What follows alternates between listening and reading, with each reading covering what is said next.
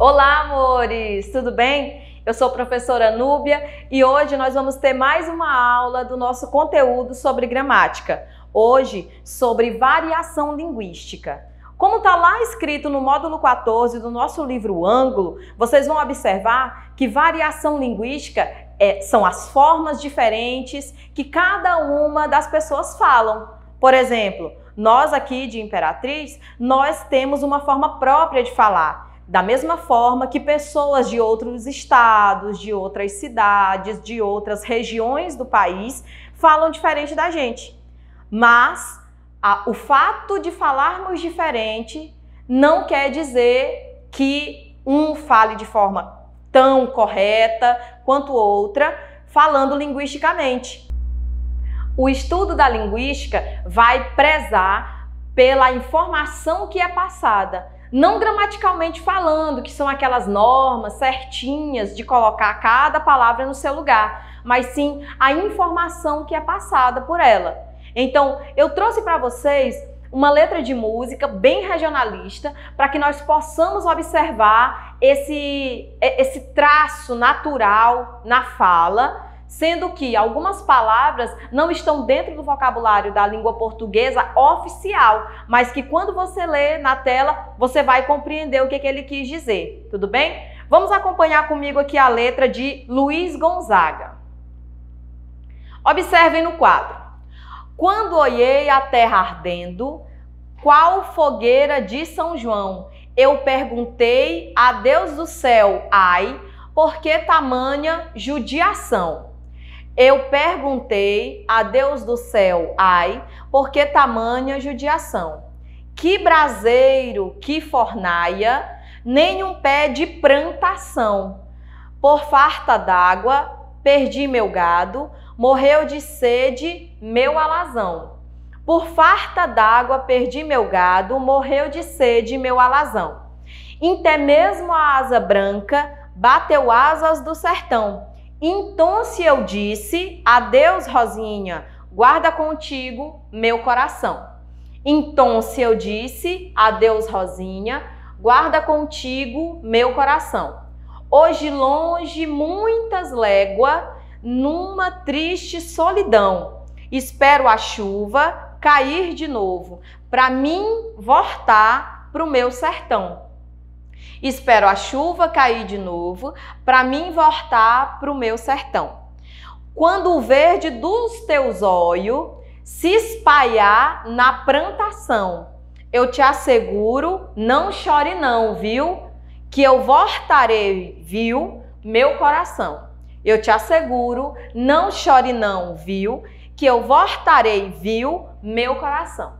Se vocês observarem, existem várias palavras aqui que nós não utilizamos no dia a dia. Pelo menos de acordo com o que nós falamos em sala de aula, ouvimos os professores conversando, na televisão, de forma oficial, esse português, que é chamado português padrão, que nós temos um costume um pouco maior de ouvir na TV, dos professores, ele vai de encontro com esse tipo de português, que é chamado de regionalismo. Então, o regionalismo, eu posso até ler essa letra aqui e compreender no todo o que, que ela quer dizer. Mas existem algumas palavras aqui que vocês não conheciam oficialmente. Por exemplo, oiei. Quem fala oiei em casa? A gente fala como? Isso, a gente fala olhei, olhei. Por mais que nós não pronunciemos o lhá, o lhe, do jeito que ele deve ser falado, a gente fala, não fala olhei, e sim olhei. Continuando na, na letra, a gente vai ter aqui uh, que braseiro, que fornaia. Fornaia nada mais é do que fornalha, quente, um, um ambiente bem quente. Nenhum pé de plantação. A gente não fala plantação, a gente fala plantação, gramaticalmente falando. Linguisticamente, tudo bem o que está escrito aqui, viu, gente? Por farta d'água, farta. A gente fala como? Falta. Perdi meu gado, morreu de sede meu alazão. Vocês sabem o que é um alazão? Alazão nada mais é do que um cavalo, viu? Por farta d'água, perdi meu gado, morreu de sede meu alazão. Em té, em té, nós que somos aqui do Nordeste, nós conseguimos compreender melhor. Em té, em té é até, mesmo a asa branca, que é uma espécie de ave do sertão, bateu asas do sertão. Entonce, entonce, então, então. Eu disse a Deus, Rosinha, guarda contigo meu coração. Aqui no, na próxima estrofe. Hoje longe muitas léguas. O que está faltando aqui? Porque a palavra légua existe. O que, que falta aqui no final desse verso? O S, por causa da concordância. Muitas léguas. Numa triste solidão. Espero a chuva cair de novo. Para mim, olha só a colocação errada gramaticalmente falando, o mim ele só pode ser usado em fim de oração. Então aqui eu teria que dizer para eu voltar, não voltar, para eu voltar para o meu sertão. Estamos aqui fazendo um estudo linguístico, mais uma vez lembrando, onde a, o objetivo principal é manter uma comunicação, diferentemente da gramática, que é estudar toda a estrutura. Por isso, que eu posso colocar numa letra todas essas palavras dessa forma, porque eles vão ter um, uma chamada licença poética. Essa licença poética, ela vem junto com a linguística me dizer o seguinte: você pode falar do jeito que você quiser, sendo que você mantenha uma comunicação que o outro compreenda. Diferente, por exemplo, imaginem se vocês são de um outro país. Imagina uma pessoa dos Estados Unidos chegando aqui em Imperatriz, do Maranhão, e tendo que ler uma letra de música dessa. Vocês acham que seria mais, mais fácil compreender dessa forma ou se tivesse dentro do português padrão da, do Brasil? Exatamente. O português padrão brasileiro, ele termina sendo mais prático de leitura de pessoas que não conhecem o regionalismo tá bem? Só para finalizar a letra, vamos lá? Ah, quando o verde do teu zóio, óio, a forma correta seria como gramaticalmente? Olho. Se espalhar, espalhar na plantação, eu te asseguro, não chore não, viu? Que eu voltarei, viu, meu coração. Como vocês puderam perceber, existe um regionalismo bem aparente em toda a letra da música.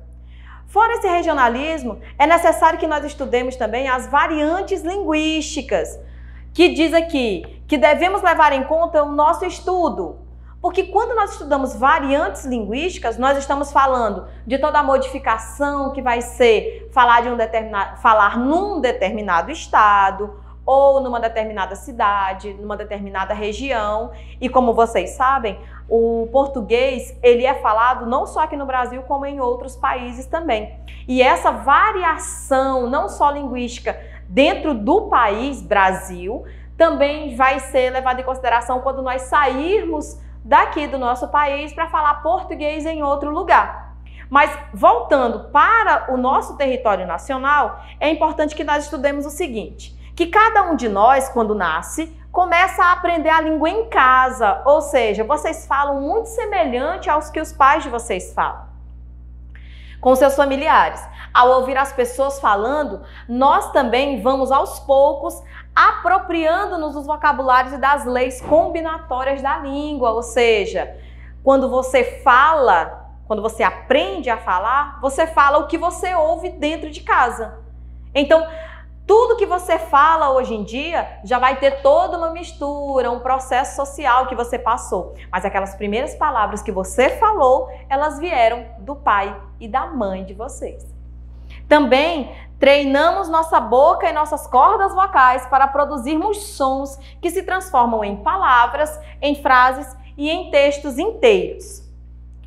Quando passamos a ter contato com outras pessoas na rua, por exemplo, agora vocês têm contato com pessoas na rua, na escola, igreja, sítio, todo esse ambiente social que vocês se relacionam hoje em dia, faz com que nós percebamos que nem todos falam como nós.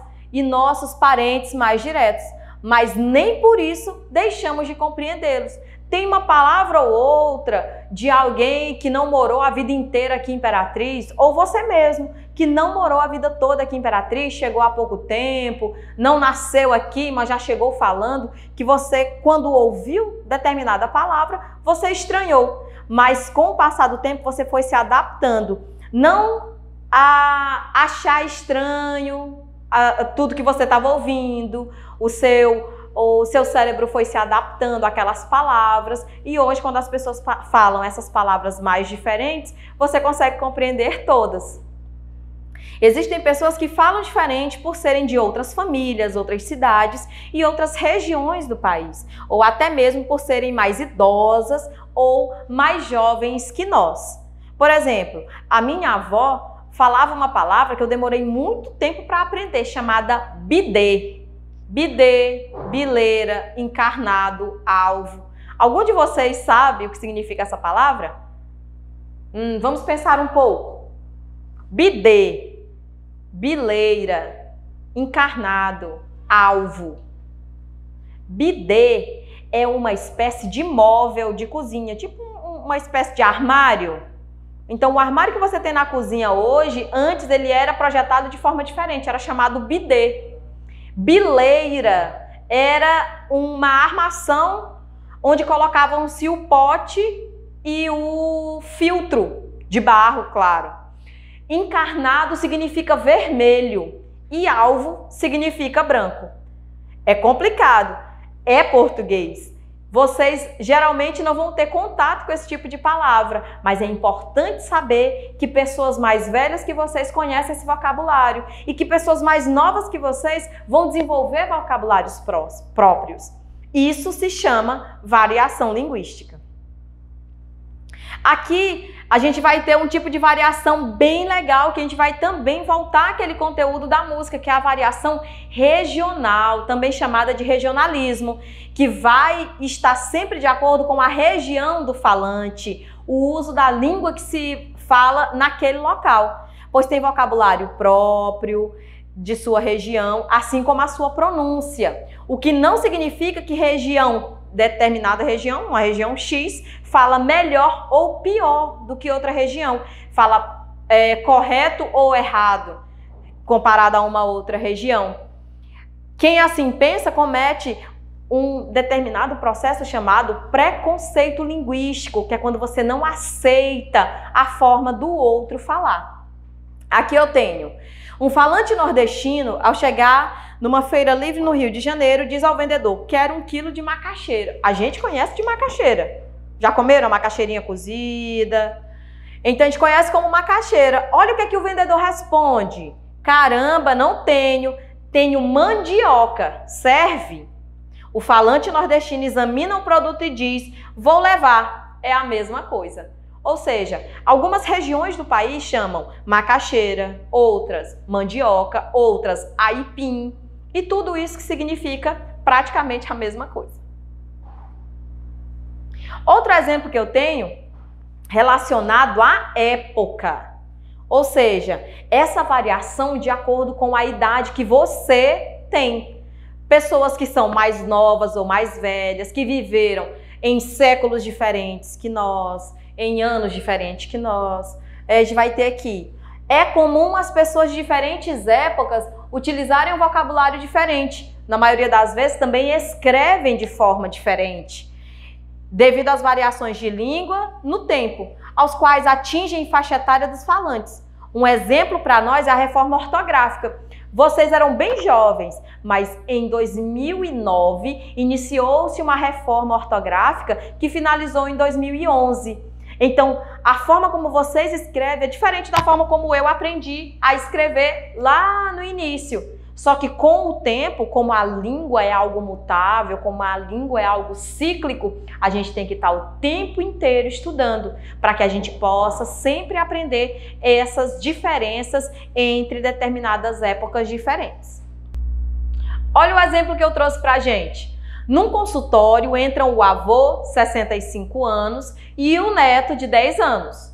O avô olha para o médico e fala: Doutor, Quero que o Senhor me receite um remédio para meu neto que está de fruço. O médico, meio aturdido, porém compreende a fala do Senhor e começa a prescrever a medicação. Eis que o neto interrompe: Vovô, eu não tenho essa doença aí, não. Tenho apenas um leve resfriado. Observem, a palavra resfriado vai ter o mesmo significado que a palavra difruço só que em épocas diferentes. De acordo também com a classe social, nós vamos ter essa variação linguística, que ela vai se dar por pessoas que têm, uh, que de uma classe social diferente, classe média, classe alta, classe baixa. Então, dependendo da classe social do falante ou do ouvinte, pode haver aí uma diferenciação. Pessoas que têm maior acesso a leituras variadas, escolas, filmes, internet, apresentam uma variedade da linguagem que digamos que seria mais próximo do exigido, ou seja, muito mais próximo daquela norma padrão. Mas isso não quer dizer que os demais que não tiveram todo esse acesso estão mais pobres de língua portuguesa. Só quer dizer o seguinte, que uns tiveram mais oportunidade do que outros de estudar. Tá bem? Eu trouxe outro exemplo para vocês. Conversa entre três jovens de diferentes classes sociais. Jovem da classe alta. Li ontem vários artigos sobre variação linguística na biblioteca virtual e tive aulas com meu pai. Jovem de classe média. Foi mesmo, cara? Eu tenho internet, livros, TV a cabo, mas não li nada. Convidei um antigo colega para ir lá em casa. Ele também utilizou minhas mídias e fez essa leitura que você aí fala. Olha o de classe baixa. O convidado fui eu. Não tenho esses recursos, apenas as xerox das aulas, por isso aproveitei a oportunidade dada pelo colega, a fim de também me sentir incluído e li tudo que pude. Resultado: hoje entendo as variações e sei me defender diante do dado preconceito linguístico, porque nós precisamos aceitar as formas diferentes das outras pessoas falarem. Essa questão também do nível de instrução vai também estar de acordo com as variações linguísticas. Por exemplo, uma pessoa que estudou pouco, né? uma pessoa que não fez ensino fundamental. Será que ela vai falar do mesmo jeito de alguém que fez mestrado, doutorado? Sim ou não? Então, não tem como uma pessoa que não estudou tanto assim falar no nível de mestrado ou doutorado, ou alguém que nem fez mestrado e doutorado, mas que estudou bastante a vida toda dela. Então, o que, que acontece? A gente vai lá no nível de instrução observar essas diferenças entre a forma de falar de cada um deles. A gente vai ter que o nível de instrução do falante também faz com que a língua sofra variações.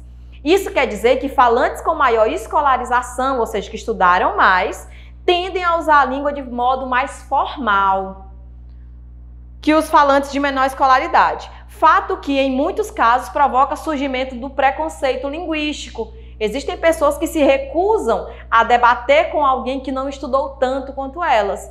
E isso é chamado preconceito linguístico. Quando você isenta determinada pessoa da sua conversa, você está sendo preconceituoso. Da mesma forma que quando o colega que veio de uma outra região fala na sala de aula uma palavra que no vocabulário dele lá na cidade dele era um vocabulário do dia a dia, mas você não compreende, você fica é, reproduzindo com chacota. Isso também é chamado de preconceito linguístico. Exemplo: conversa entre um agricultor, olha só, um agricultor nível de escolaridade baixo, analfabeto, e um meteorologista. Para ser meteorologista, eu vou ter que fazer ensino superior. Ó, o agricultor, senhor, observem as marcas. Senhor, hoje chove de todo jeito. Ó, o meteorologista, não, as previsões só anunciam chuvas para o final do mês. Não concordo, não senhor. E até porque o MEI miou e o MEI findou e hoje já é 15. assim tá nomeado e vai chover. Ó meteorologista, mas e as previsões? O Senhor não entende de nada, nem falar sabe.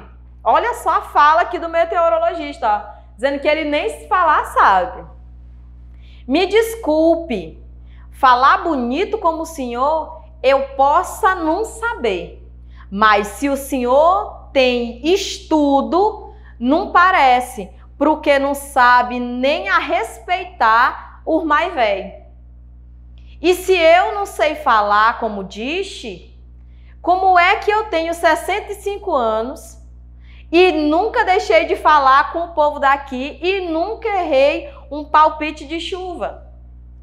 Por mais que pareça complicado compreender a fala do agricultor, mas no fim das contas a gente termina compreendendo. Apesar de que nessa fala do meteorologista, ó, quando ele fala assim, ó, nem falar sabe. Será que se ele não soubesse falar, ele tinha falado tudo isso daqui antes? Então, quando você diz que alguém não sabe falar, quando a gente ouve alguém dizendo algo e a gente acha, estranho e vê assim, ah, fulano de tal fala o português errado. Isso tudo é um caso de preconceito linguístico. Vamos ter atenção a isso, viu? Situação de comunicação, ou seja, determinados registros. Aqui o que, que eu vou dizer para vocês? É diferente a forma como você fala com a sua mãe, e a forma como você fala com seu professor, e a forma como você fala com seu amigo, e a forma como você fala com seu irmão. Isso é uma situação de comunicação. Você pode dizer a mesma coisa, porém você utiliza palavras diferentes. Por exemplo, a mãe com o filho em casa e na escola na qualidade de sua educadora. Olha a mãe falando, a Maria enquanto mãe. Filho, vai estudar variação linguística. A avaliação é hoje. Te dou uma bola se tirar 80, que no nosso caso seria 8. Não vai me envergonhar, hein? Olha o filho dela. Mamãe, eu já sei que a língua varia conforme a região, tempo, grau de instrução e um bocado de coisas mais. Me dê, mamãe, a bola. Olha a Maria na escola conversando com o filho dela. José, ó, não é mais filho, estão vendo? A adaptação que ela fez? José, estude variação linguística, que a avaliação será hoje. E eu darei à turma um livro a quem tirar 80. Olha o José falando com a Maria, sendo que agora ela é professora lá na escola. Professora, Sei de todas as variações, inclusive como banir o preconceito linguístico existente na nossa sociedade. E agora, mereço, mereço 80 e o livro? Olha só o quanto que ele é esperto. E aqui nós vamos ter as diversidades em relação à língua oral e língua escrita. Em sala de aula, eu já conversei com vocês sobre isso. Dentro da, da forma como falamos e da forma como escrevemos, existem diferenças. Por exemplo, não dá para escrever pra, pra. Eu tenho que escrever para. Não dá para escrever tá. Eu tenho que escrever está. Eu estou em casa. Mas eu posso falar, eu estou em casa, de forma informal. Aqui eu tenho algumas expressões para vocês observarem. Por exemplo, né, tá, entendem. Então, essas falas, essas marcaçõezinhas na fala de vocês, isso vai se chamar de expressões de apoio. Essas expressões de apoio faz com que a finalização da sua fala desse faz com que a pessoa que está te ouvindo observe que você está finalizando sua fala ou que você está perguntando algo. Em outras palavras, poderíamos resumir que a escrita ela vai ser planejada. Já a fala não, ela vai ser espontânea, tá bom? Por último, eu tenho dois tipos de fala: a formal e a informal. A formal é aquela também chamada de língua culta ou padrão. A gente vai chamar ela dessa forma porque todo o território brasileiro vai conseguir compreender o que você escreveu, o que você está falando. Diferentemente da informal. A informal, ela já vai ser mais voltada para as formas como eu falo no dia a dia, essas formas que eu trato meus familiares, as palavras que eu utilizo para conversar com eles, diferente da forma como você fala com a diretora da escola, com a professora em sala de aula, com o seu líder religioso, tá bem? Por exemplo, uma das formas informais que nós temos vai ser a gíria. A gíria como a moda passa. Claro, porque algumas gírias que eram utilizadas há dois anos atrás não são utilizadas hoje em dia. A gíria, ela é uma forma própria de falar. Junto com a gíria, eu também tenho o jargão e o calão. O que são isso? São códigos linguísticos próprios de um grupo sociocultural com vocabulário especial, incompreensível para quem dele não fizer parte, ou seja, a gíria, só quem faz parte do ciclo social vai compreender que está sendo falado. Os médicos usam uma linguagem típica da medicina, por exemplo, para explicar um procedimento cirúrgico chamado jargão. E os surfistas empregam gíria entre eles. Da mesma forma que vocês, alunos, têm uma forma própria de falar entre vocês, alunos, que é diferente da forma de vocês falarem com os pais, com os irmãos, conosco, professores. O calão ou baixo calão é uma realização linguística caracterizada pelo uso de termos baixos que vocês ainda não utilizam, tá? E eu prezo que vocês não utilizem, que são os dados palavrões. Então, calão é a mesma coisa que palavrão. Você não vai usar no seu dia a dia, até porque, olha só o que, que ele diz aqui: é um termo baixo, grosseiro, obsceno. E isso pessoas educadas não utilizam, é certo? Que dependendo do contexto, muitas vezes chocam por falta de decoro e desvalorizam socialmente aqueles que os empregam. Então, é uma palavra para uma pessoa que estudou, que compreende a linguística, não usar de forma alguma.